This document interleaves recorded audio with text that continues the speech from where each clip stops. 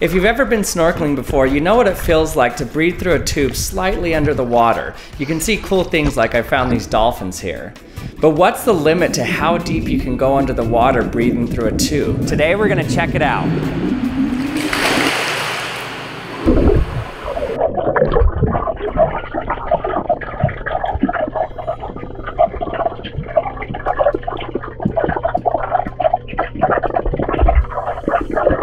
At just a depth of 10 feet, I physically couldn't take a breath no matter how hard I tried.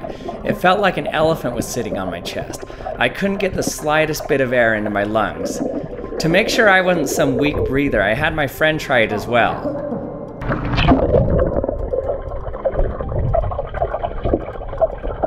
And still nothing. And what's worse is that right when you jump in, if your airway is open, the air gets sucked out of your lungs so you don't even have a breath of air to rely on under the water. Your lungs just get flattened like a pancake. We know that you cannot breathe underwater 10 feet, no chance. So I'm gonna go to the depth where I feel like I can take a breath, so.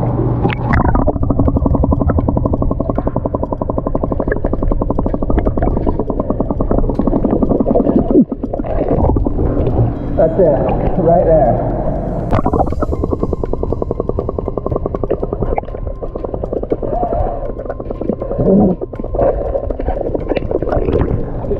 I can hear it. We found our limit to be around three to four feet of water depth before we couldn't take a breath at all. The reason we can't take a breath is because at around 10 feet of water depth, there's around 433 pounds per square inch of pressure pushing on your body. You can see the pressure just crush the air in this bottle here. So you physically can't inhale because you'd be pushing against thousands of pounds of force with your chest. So when you hold your breath and go under the water and dive that deep, that's actually what's happening to the air inside of your lungs as well. It becomes compressed air. Because it's compressed air, it's easy to exhale under the water. You can let out bubbles. But what if you're not under the water and try to blow air bubbles into the water? So now we're just gonna try to blow air the whole way down and see when I can't even blow air out of my mouth anymore. Your muscles that blow out air are actually stronger than your muscles that suck in air, but still you can't even overcome the pressure of the water to blow the air out at that depth.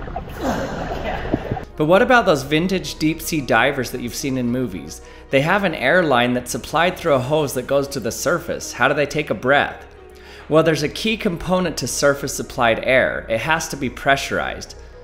So the compressed air can overcome the pressure of the water and you can take a breath. So let's see if we can go a little bit deeper if we supply compressed air. So we're gonna hook to the end of the hose. Spencer's gonna be the guinea pig at the bottom trying to breathe through it with the compressor. So now we're compressing the air, give it a little more pressure behind it and see if he can actually breathe. Okay, I'll head down and see.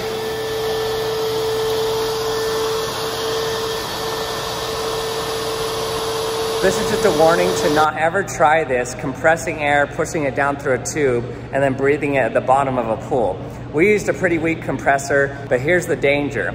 You take a breath of that compressed air under the water, and then if you hold your breath and surface with that air, now the air inside of your lungs expands. And so you can really injure yourself when that air tries to expand inside of your lungs if you don't let the air out as you go. It's the same thing that divers have to do. If they have breaths of air, you can't just keep that air in your lungs as you surface. Yeah, I mean, Could you breathe? It's hard. It's like little breaths at a time. Like that. And before we end, I'd like to thank the sponsor for this video, Nautilus. Nautilus explores big ideas in science. Its stories present ideas that will be debated long into the future, and as a result has established itself as the foremost literary science magazine.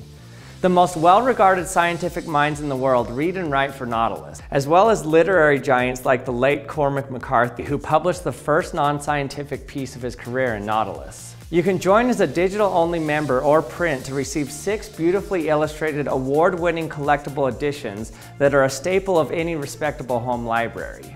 In addition to full access to all the stories in Nautilus, members receive benefits like priority access to events, exclusive products, and product discounts.